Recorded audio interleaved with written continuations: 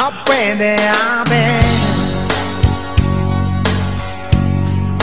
¿Dónde la encontraría otra mujer?